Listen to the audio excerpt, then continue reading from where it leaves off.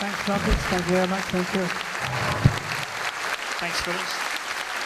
Now trombones, thank you. Thanks, guys.